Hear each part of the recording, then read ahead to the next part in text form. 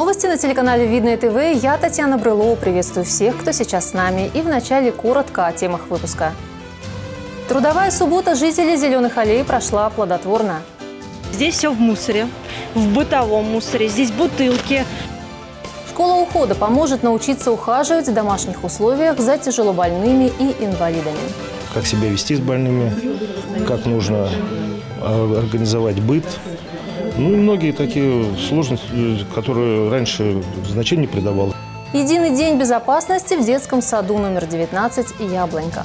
Сегодня испытали как раз вот новую форму, да, когда нас дети сами обучают. Для жителей микрорайона «Зеленая аллея» минувшая суббота оказалась по-настоящему трудовой. Они приняли участие в субботнике на территории вокруг Малого Тырчевского пруда. К неравнодушным горожанам присоединились и члены местного отделения партии «Единая Россия». На мероприятии побывал наш корреспондент Дмитрий Книга. Жители микрорайона Зеленой аллеи мечтают о благоустроенной набережной вокруг Малого Тырычевского пруда. Десятилетиями этой территории никто не занимался, и активисты решили обратить внимание властей на эту проблему. Месяц назад здесь прошел первый субботник, организованный жителями и поддержанный районной администрацией. На этот раз подключилась Всероссийская политическая партия «Единая Россия». Мы для себя определили, чтобы за этот год вычистить территорию этого замечательного пруда и близлежащую территорию, для того, чтобы здесь можно было на перспективу благоустроить замечательную общественную зону. Со стороны зеленых аллей жители домов своими силами стараются держать территорию вокруг пруда в чистоте. Основным фронтом работ был противоположный берег по улице Школьная, где кроме уборки необходимо было разобрать деревянные конструкции, в последнее время служившие местом обитания асоциальных элементов. Здесь находились погребы, э, жители, которые проживали здесь давно, я так понимаю, годов 70-х, 60-х.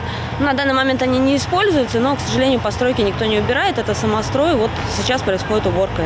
Более 150 человек пришли на помощь жителям микрорайона. Члены и сторонники «Единой России», сотрудники администрации и муниципальных предприятий выносили мешки с мусором из самых труднодоступных мест. Здесь все в мусоре, в бытовом мусоре. Здесь бутылки, а, здесь пакеты с мусором, которые люди, я не знаю, не доносят почему-то до помойки, они выбрасывают так во враг. Это все.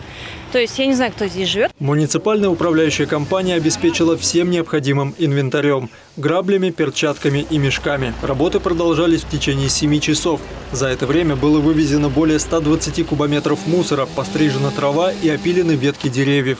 После чего данная территория стала еще на один шаг ближе к будущему благоустройству. Естественно, нужен проект для того, чтобы превратить эту зону уже с дорожками, с освещением. К этому Валерий Николаевич нас пригласил, над этим мы работаем, вместе с жителями, кстати говоря. Работы по приведению в порядок набережной Малого Тырычевского пруда будут продолжены. Дмитрий Книга, Сергей Ларин, Ольга Садовская, Видное ТВ. Центре социального обслуживания «Вера» начала работу школа ухода. В ней все желающие могут пройти курс обучения навыкам помощи в домашних условиях тяжелобольным и инвалидам. На одном из первых занятий побывала и наша съемочная группа. С учениками и преподавателем пообщался Максим Козлов. С 1 января 2019 года вступили в силу поправки в закон о социальной поддержке отдельных категорий граждан в Московской области. Согласно им, в Подмосковье появилась новая форма социальной поддержки – выплата ежемесячного денежного пособия лицам, ухаживающим за инвалидами первой и второй группы. Но чтобы получить эту выплату, необходимо окончить вот такую школу ухода. Тщательный уход за тяжело больным или инвалидом. Поэтому постоянно 2-3 часа мы его поворачиваем, меняем местоположение, мы проветриваем помещение, мы делаем э, гигиенические ванны процедуры. Программа школы разработана Министерством социального развития. 5 часов теоретических занятий и 3 практических. Вадим Ланцов, пенсионер, приехал из Одинцовского района. Он ухаживает за родственницей, инвалидом первой группы. Учится прилежно, тщательно все конспектирует и активно обсуждает полученные знания. Соцзащитники мне подсказали, что такие курсы сейчас вводят, и чтобы правильно осуществлять уход, надо, соответственно, пройти эти курсы. Очень много нового, вот, в частности, вот, как себя вести с больными, как нужно а, организовать быт, Ну и многие такие сложности, которые раньше значения придавал, здесь акцентирую на это внимание. И теперь как бы мы знаем и будем поступать правильно.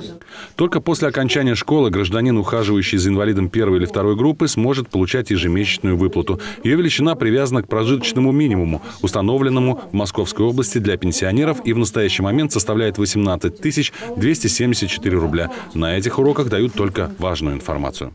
Уроки у нас проводятся и по уходу, по гигиене, по реанимации, да, какие-то сложные ситуации, какие-то э, психоло... очень много психологии преподаем, потому что возрастные изменения, они как бы имеют место, да, и мы с возрастом подвергаемся. И как с этим справляться, да, конфликтные какие-то ситуации, как э, с пожилым человеком находить общий язык. Уроки бесплатные. По сути, записаться на них может любой желающий, например, волонтеры или сотрудники благотворительных организаций. Данные занятия посещают и некоторые работники Центра «Вера».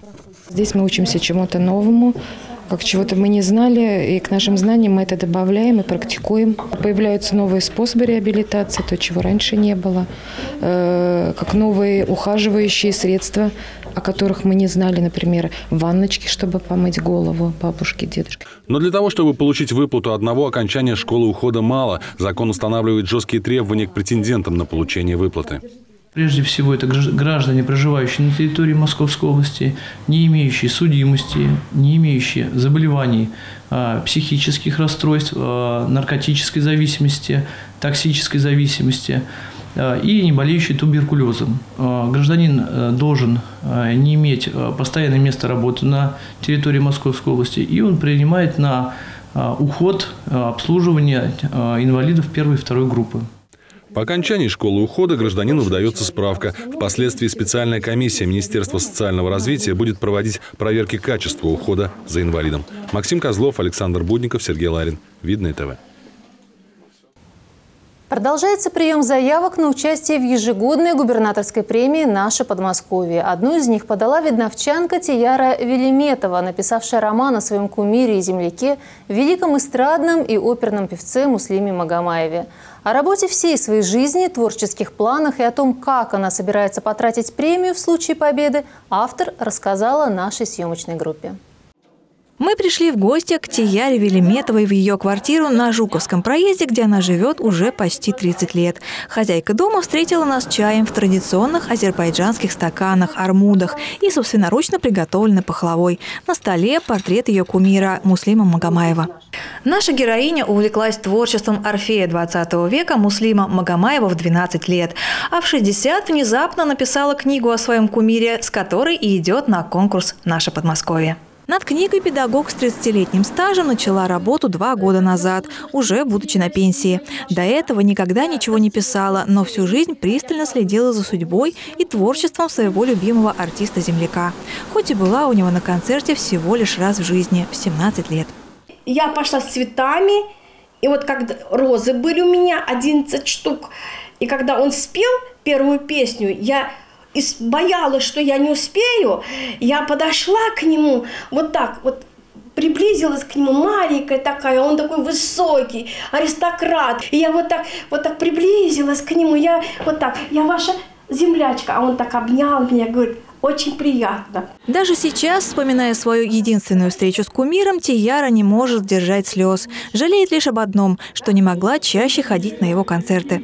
Работая над своей книгой, она изучила все возможные материалы про Магомаева, его интервью и авторские книги, воспоминания близких и друзей.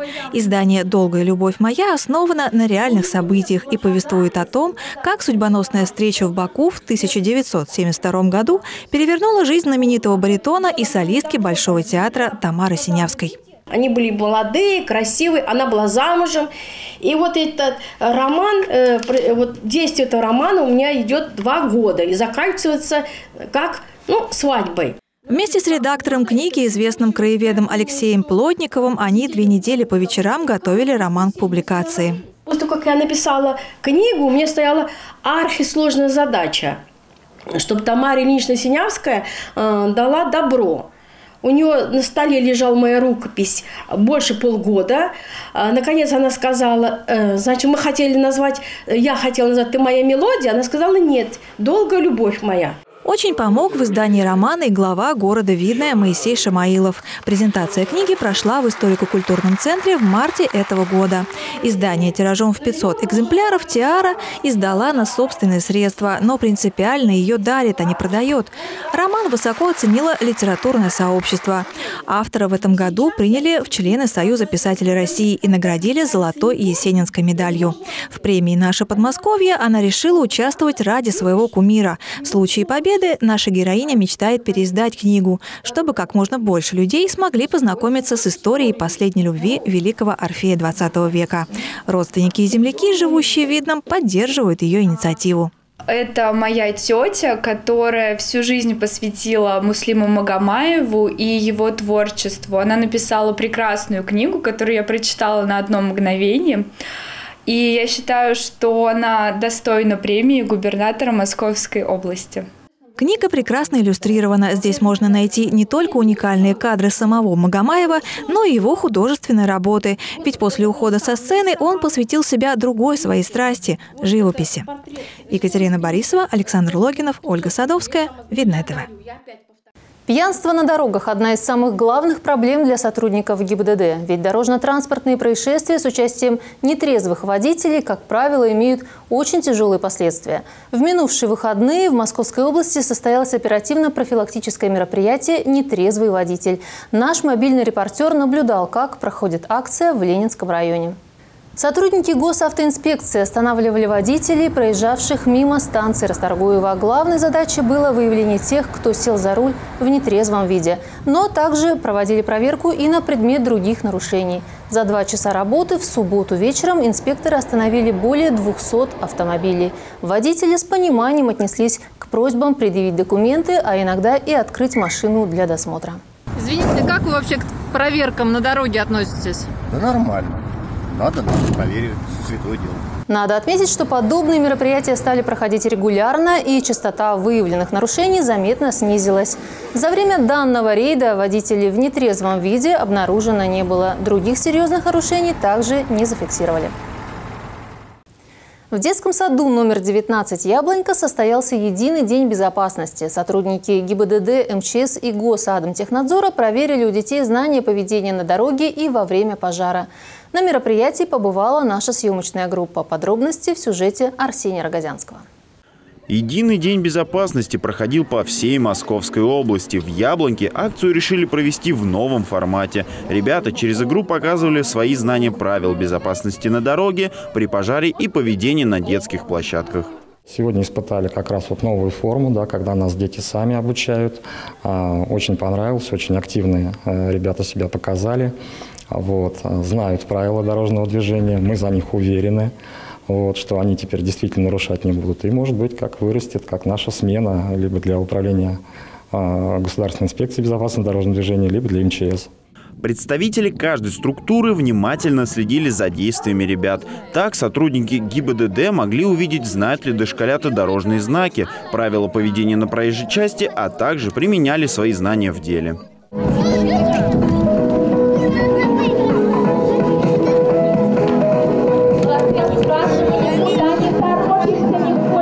Дети принимали активное участие, где они, в принципе, сами показывали, как нужно себя вести на дороге, как нужно управлять транспортным средством, нужно переходить проезжую часть, собирали светофоры.